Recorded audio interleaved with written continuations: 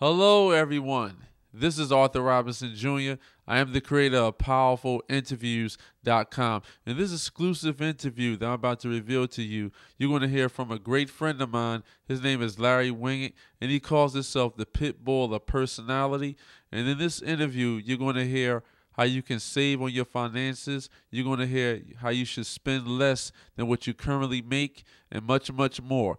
So, right about now, go get your pen and your pad and write down some notes. And this exclusive interview that I'm going to reveal to you is going to change your life. So check it out. Good evening, everyone. This is Arthur Robinson Jr. And tonight I have another special treat just for you. Tonight I have an incredible person on the call, and he's a great friend of mine. His name is Larry Winget, and he is the author of the best self-titled book, You're Broke Because You Want to Be. And without further ado, I'd like to welcome Larry Winget to the call. Thanks, Arthur. Glad for uh, you having me on. Well, thank you, Larry. I'd like to thank you once again for taking time out of your busy schedule to educate the listeners about your powerful book, You're Broke Because You Want to Be. I gladly appreciate it. Well, my pleasure to be on here. I've uh, I've written a lot of books. This is actually one of my very favorite books. It's about taking control of your personal finances, and uh, most people right now just barely get by. I want them to get control so they can actually start getting ahead. What I would like to know, and can you educate the listeners about who you are, and can you give them a brief background about what you do and how you come up with this powerful book, You're Broke Because You Want to Be? Well, for 20 years I've been a professional speaker. I've spoken to 400 of Fortune 500 companies. I've written uh, four best-selling books, uh, a number one Wall Street Journal best-selling book called Shut Up, Stop Whining, Get a Life, uh, uh, and others. What I've done is gone out and talked to groups around the world about the principles of success, prosperity, uh, and it's all really based on the idea of personal responsibility. I grew up dirt poor Muskogee, Oklahoma. Never had very much. Made a decision in my life. I was going to figure out what it took to get rich got rich, lost it all through a series of bad business mistakes. I went from broke to rich to bankrupt to multimillionaire. And I did it with the principles that I teach corporations, individuals, associations all over the world. And for those that don't know Larry, I'm just going to give you a brief background about his history. Larry Winget is a four-time New York Best Time Wall Street Journal best-selling author. He is a member of the International Speaker Hall of Fame he has starred in his own television series and appeared in national television commercials. Larry is a regular contributor on many news shows on the topics of money, personal success, and business. He is the trademark pit bull of personal development and the world's only irritational speaker. Why do people label you that, the irritational speaker? Well, the world's just full of motivational speakers and uh, trying to motivate a person to go from where they are to a better place. I don't think that works. I don't think you can motivate anybody to go from where they are to a better place. What I do is try to make you so irritated with where you are that you'll do anything that it takes to get to a better place. See, I think the positive attitude thing, the motivation thing is worn out, and I'm not sure that it's effective. So what I do is try to point out to people by sort of holding a mirror up to their lives, their business, and their finances to show them just where they are and what got them in the position that they're in and prove to them that they can live a better life personally through their business and financially if they just take responsibility for it, get a little bit irritated with where they are and go to work. I was reading your incredible book, You're Broke Because You Want to Be. And one of your chapters was actually elaborating about how to get out of debt. Can you explain to my listeners a little more about that? You know, getting out of debt. I've worked with a lot of people. I did have my own television show on A and E for several years. I've uh, I've talked to. I get a hundred emails a day from people who are in trouble financially. And what's interesting to me is when it comes to debt, I have yet to deal with one person who really knows where they are financially, meaning they don't know how much money they got to work with, and I don't know anybody right now who knows exactly how much money they owe, who they owe it to, when it's due.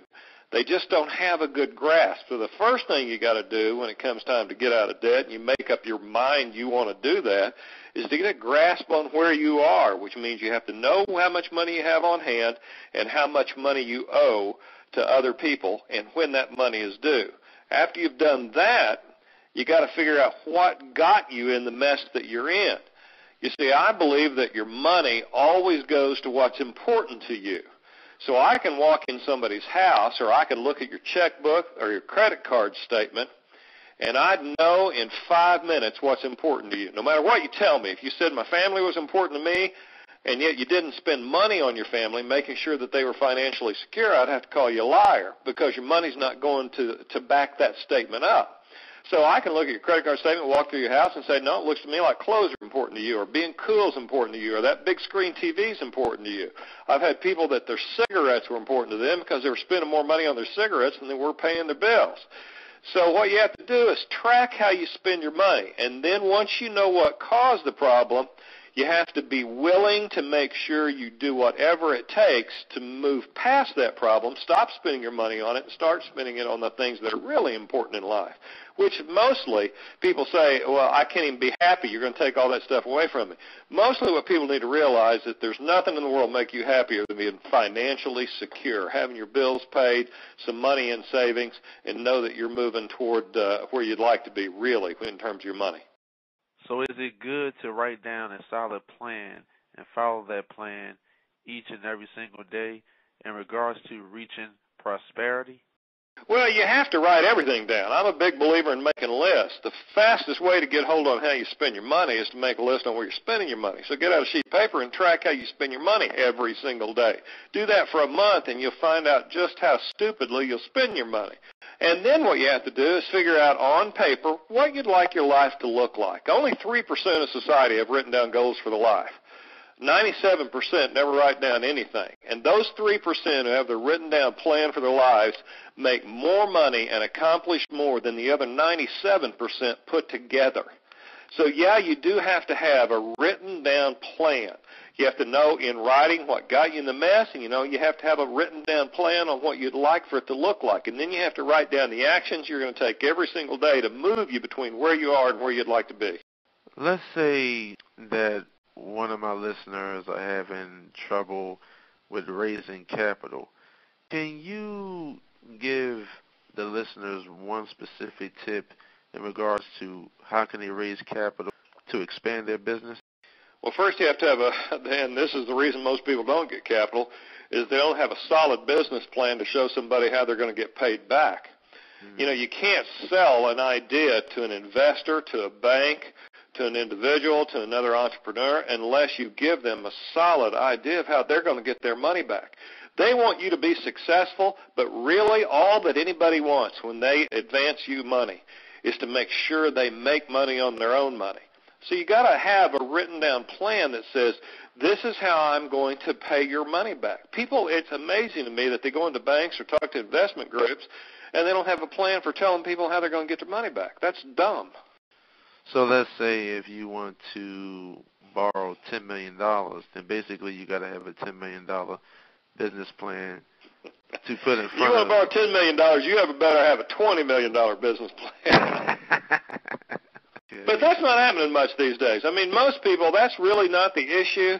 The, the really what the the bulk of the, the the United States is faced with today is how do I pay my bills? When you realize that the average 50 year old in America today has $2,500 to their name, $2,500 which means, let's say, over the course of 25 years, and let's say they start to work when they're 25. Most people start to work long before they're 25.